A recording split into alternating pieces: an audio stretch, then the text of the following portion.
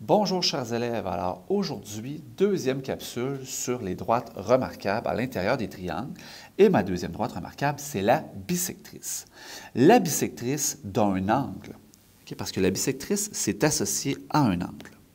Donc d'un angle, est une demi-droite divisant ce dernier en deux angles adjacents, c'est-à-dire qu'ils sont collés isométrique. Donc, deux angles adjacents isométriques. Donc, ici, j'ai un triangle. Je vais lui tracer ces trois bisectrices parce qu'il y a une bisectrice par angle. Donc là, je vais le faire à l'œil. Tu n'as même pas besoin de prendre ton rapporteur d'angle. Donc, qu'est-ce qu'on fait pour faire les bisectrices? Normalement, on prendrait notre rapporteur d'angle et on couperait notre angle en deux. Donc, par exemple, ici, j'ai mon angle. Je le couperai en deux à l'aide d'une demi-droite. Là, je vais m'aligner sur le sommet.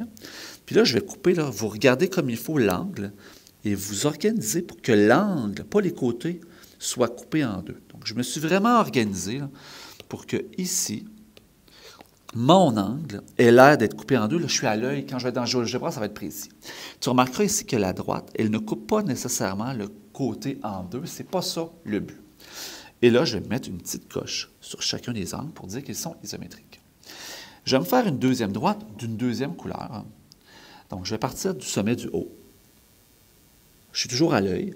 Et là, je m'enligne à l'œil pour séparer mon angle en deux, à peu près. Et là, tu remarques que j'ai une demi-droite, fait que je dépasse le côté de mon euh, triangle. Une fois que j'ai fait ça, je me mets deux petites coches de chaque côté pour me montrer que ces angles-là sont isométriques. Je vais faire la même chose avec mon troisième angle. Donc, je pars du sommet. Je te rappelle que dans je m'enligne à peu près pour séparer mon angle en deux, comme ça. Et je me mets trois petites coches, trois petites coches pour dire que ce sont des mesures qui sont isométriques. Donc, ça, c'est les bisectrices on remarque que je sépare mes angles en deux, mais que je ne sépare pas nécessairement mes côtés en deux.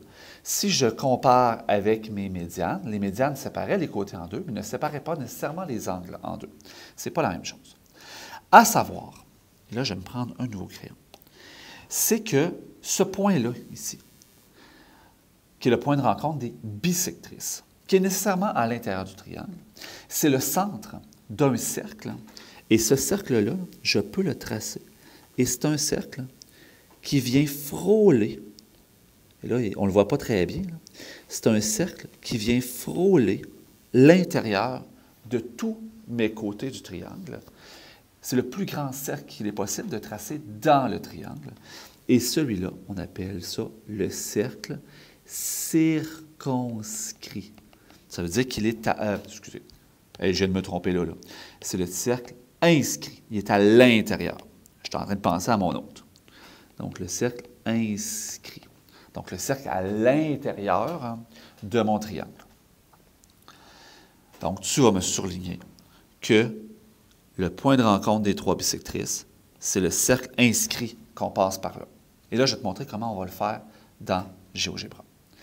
Maintenant, ce que je vais faire, c'est que je te montre dans GeoGebra comment je fais mes bisectrices. Les bisectrices sont super faciles à faire. Il y a un outil qui le fait, la bisectrice. Donc, tu vas aller dans tes outils. Ici, ça va être dans le troisième menu. C'est là que tu as les perpendiculaires. Et à l'intérieur, tu vas voir que tu as l'outil bisectrice.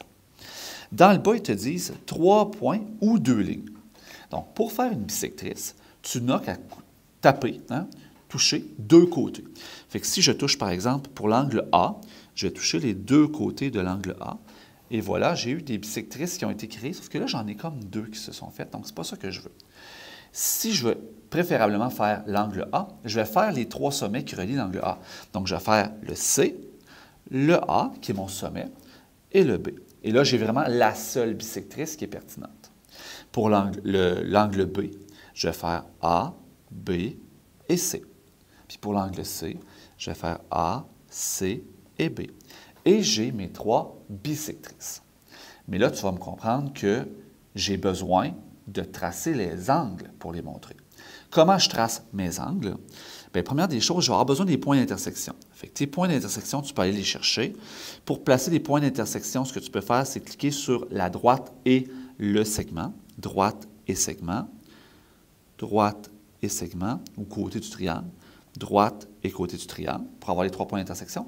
Et tant qu'à faire, je te suggère tout de suite de faire le point d'intersection des trois lignes.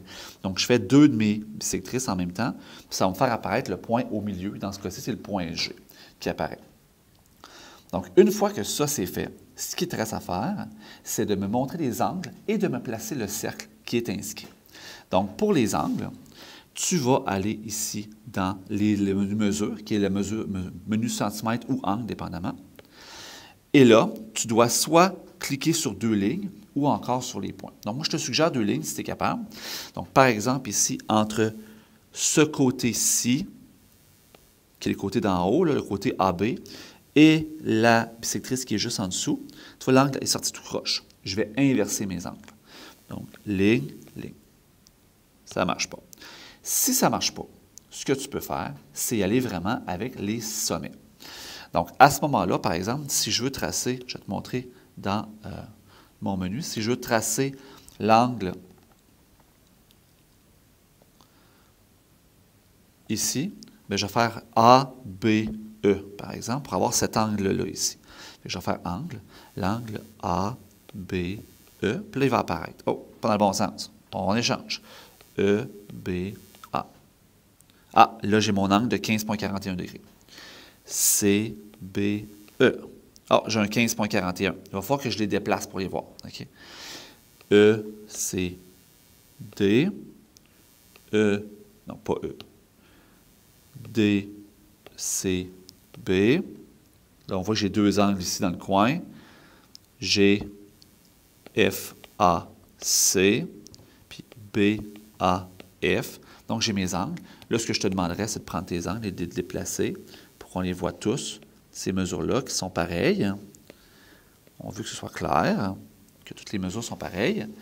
Et la dernière chose, c'est le cercle inscrit. Ton cercle inscrit, fais attention. Donc, on va prendre cercle centre-point, le premier cercle. On se place sur le point G qui est mon centre. On va placer un point sur un des côtés du triangle. Peu importe quel côté, je vais mettre ici, là, n'importe où. Puis là, tu vas voir que ton cercle, il n'est peut-être pas parfait. Et si tu veux le mettre parfait, tu prends ton, ton curseur déplacé et tu peux déplacer ton point à l'intérieur et viens juste trouver où est-ce que ton cercle est le plus petit possible, où est-ce qu'il rentre. Fait que tu déplaces ton point jusqu'à temps qu'on voit que ton cercle il frôle à l'intérieur. Et voilà, j'ai placé mon cercle inscrit à l'intérieur de mon triangle à l'aide des bisectrices.